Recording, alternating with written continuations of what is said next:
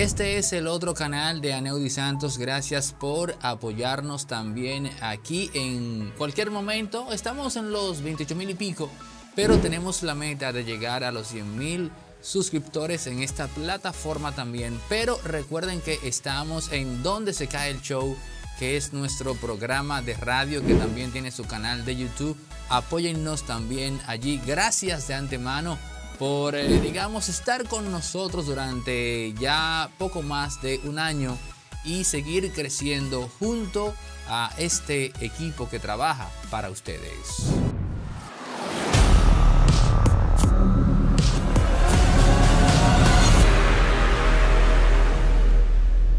Dicen por ahí que a quien le sirva el sombrero que se lo ponga. Y yo voy a hacer ese ejercicio en el caso de la veterana comunicadora Altagracia Salazar. Porque en dos ocasiones he dado informaciones que tienen que ver directa o indirectamente con ella. Y en dos ocasiones Altagracia Salazar sale a criticar a los youtubers.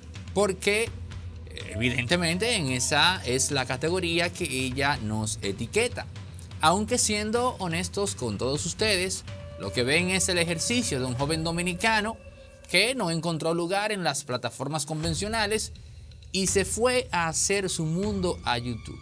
El resultado está a la vista de todos para que sean justamente ustedes los jueces de la calidad del mismo, no nosotros. Son ustedes los que, los que determinan si esto está bien o va mal pero nadie más tiene el derecho a hacerlo, porque trabajamos para la ciudadanía y es a esta a quien le corresponde medir la calidad de lo que se hace. ¿Y por qué digo esto último? Porque no sea razón de que Altagracia Salazar tiene que enojarse cuando primero nosotros nunca la hemos irrespetado. Quien les habla es consciente de que una sociedad, oigan esta frase, que me la dijo una vez una de las personas más brillantes de este país, el doctor Carlos Pineda. Una sociedad que aniquila a sus dioses está condenada a desaparecer. Eso usted puede extrapolarlo a que una sociedad que aniquila a sus íconos está condenada a perecer. Y Doña Altagracia, junto a Uchilora, junto a Marino Zapete y otros tantos, son símbolos que sirven y que estimulan a quienes vienen detrás. Amén de que haya algunos elementos irreverentes, iconoclastas, que atenten contra esos símbolos. Pero incluso eso es parte del proceso. Pero no es nuestro caso. Siempre que hemos dado informaciones en torno a Doña Altagracia, lo hemos hecho dentro del marco del respeto. Y lo último que revelamos es algo que otros medios plantearon también, pero nosotros lo hicimos primero. Cuando dijimos que la razón por la cual ella dejó su programa de radio junto a Giovanni Díaz y a Angeli Moreno era porque estos últimos iban a hacer un nuevo proyecto en el grupo de Alofoque al mediodía en la emisora que, compraron Osuna y Alofoque.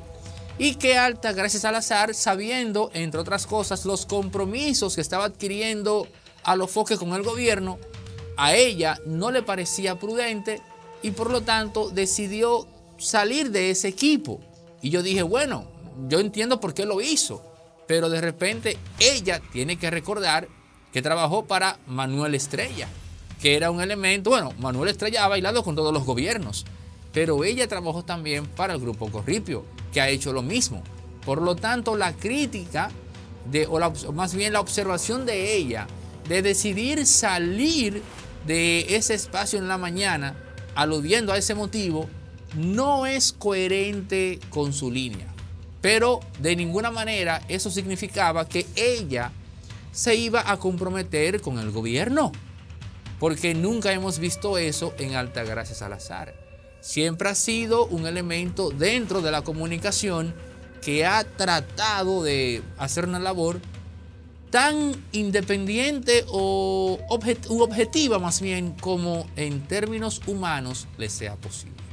Oigan bien, porque quien les habla no cree en la imparcialidad, no cree en la objetividad, pero sí en que en cierta medida, hasta cierto grado, es posible practicarla. Y eso ha hecho, guiada por la sensatez, Altagracia Salazar. No sé, honestamente no comprendo por qué el enojo de Altagracia Salazar hacia nuestras informaciones y comentarios, porque nunca la hemos tratado mal. Así que, caramba, pero por demás también. Usted me excusa, doña Altagracia, pero no me hable del tema aquel de que en Europa, cuando se hace una crítica o se revela algo, por lo menos se parte de una base fáctica. Cuando usted tiene periodistas tan admirados como el británico Adam Curtis, que trabaja para la BBC, que todo su accionar ha sido en los últimos años a través de las redes sociales. Y es un hombre que lo que él escribe ha sido tema de estudio en universidades. Lo que él escribe, lo que él plantea a través de sus redes sociales. Adam Curtis. Si usted no lo conoce, estudiese ese fenómeno. Pero asumo que sí, que sabe de quién le estoy hablando. O sea que hablar de que unos fulanos por ahí en busca de likes, eso ya no es creíble. Eso ya no es aterrizado. Porque nosotros estamos hablando desde las plataformas que hoy en día el público, la ciudadanía prefiere. Y eso no es algo que uno pueda controlar. Eso no es algo que nosotros hayamos determinado. Es básicamente la evolución histórica de la comunicación no solo en República Dominicana, sino en cualquier parte del mundo occidental. Eso es lo que estamos viviendo. Y los comunicadores nuevos van a salir de aquí, Doña Altagracia. No de la televisión convencional, no de la radio, no de los periódicos, no, no, no, no, no, no. Es desde estas plataformas que la gente va a comenzar a identificar a quienes van a ser el relevo del trabajo que tan admirablemente durante 30, 40, 50 años han venido haciendo gente como usted. Pero también recuerde, recuerde esto, doña Altagracia, la comunicación no es específicamente una profesión, no es una carrera. Es una facultad humana llevado a un ámbito técnico en el cual se propaga la opinión de todos. Si la comunicación es estrictamente una profesión académica, ha de ser la única entonces en la cual todos nos podemos medir desde el ego hasta el más encumbrado erudito en la misma, de igual a igual. Porque al final del día, al ser seres humanos, todos comunicamos en un nivel u otro, pero comunicamos.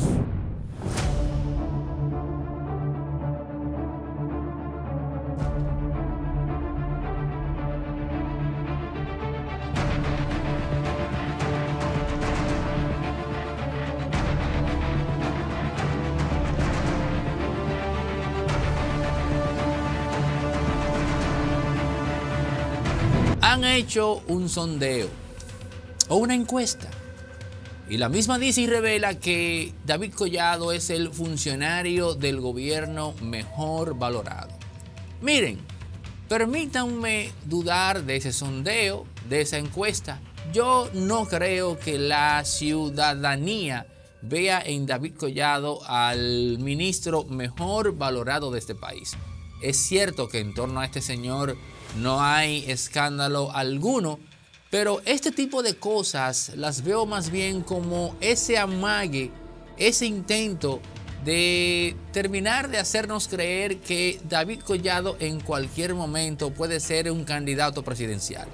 Pero ojo con algo, porque esa promesa se me parece al caso de Kyrie Irving o Kyrie Irving en la NBA. En el caso de Kyrie tenemos año tras año esperando esa gran temporada en la cual se demuestre que él es un líder y que asuma lo que muchos vieron en él en un punto, que sea la cara de la NBA. Todavía los haters de Stephen Curry están esperando la gran temporada de Craig Irving para decir, mírenlo ahí, ven, ven, que era mejor que Curry. Con este muchacho pasa lo mismo.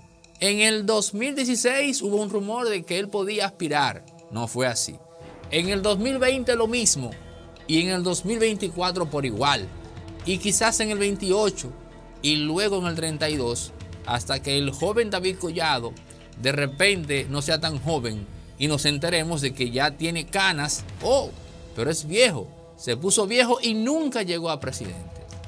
Decir que David Collado es el funcionario mejor valorado de República Dominicana es un intento necio e innecesario, oigan lo que dije, necio e innecesario de hacer que su figura se vea tan presidenciable como posible. Imagino yo que de cara al 2028, porque todo el mundo sabe en este país o espera que Luis Abinader aspire en el 24. Y si es así, no es verdad que un David Collado va a ser el obstáculo para que Luis Abinader no logre ser el candidato y a su vez garantizar la presidencia nueva vez. Por lo tanto, me parece un chiste de mal gusto que se nos diga ahora que David Collado es el funcionario mejor valorado del gobierno. Pero yo lo voy a poner más democrático. Vote usted en esta plataforma, en la cajita de comentarios. ¿Entiende usted que en verdad David Collado es el funcionario mejor valorado de este gobierno? ¿Qué caro le ha salido este lío de Danilo Medina y Leonel Fernández a este país? ¡Qué caro! Por un lío de dos pedazos de carne, tenemos que pagar 11 millones de pendejos. Danilo, dime de Gonzalo. ¿Qué tú vas a hacer con Gonzalo Castillo? Porque se supone que si el PLD está fuera del poder, el líder de la oposición vas a pasar a ser tú.